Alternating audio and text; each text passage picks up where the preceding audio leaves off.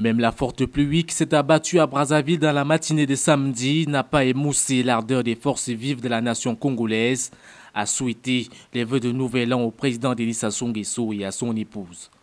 Sorti du cadre habituel et des traditionnelles processions et interminables poignées de main, c'est au jardin du Palais du Peuple qu'anciens membres du gouvernement, autorités traditionnelles, représentants de partis politiques, ONG et associations ont partagé les moments de convivialité avec le président de la République. Au nom de la société civile congolaise, Germain Sefas Ewangi a rassuré le chef de l'État congolais du soutien des forces vives à poursuivre les objectifs du vivre ensemble. Nous sommes ensemble. Nous sommes avec vous pour affronter et pour vaincre les difficultés d'aujourd'hui et celles de demain. Nous sommes avec vous.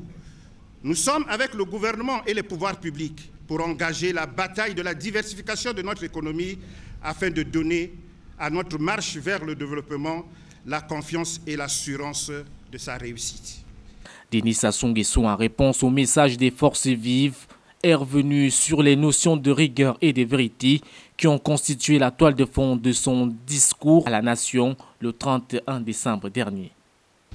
En proclamant votre engagement et votre entière communion avec le président de la République concernant ses orientations relatives à la paix, à la sécurité, à la cohésion nationale,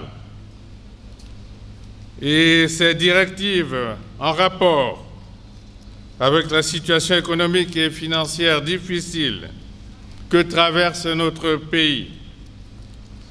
Situation qui exige de chacun et de tous, oui, plus d'ardeur au travail, d'esprit de sacrifice.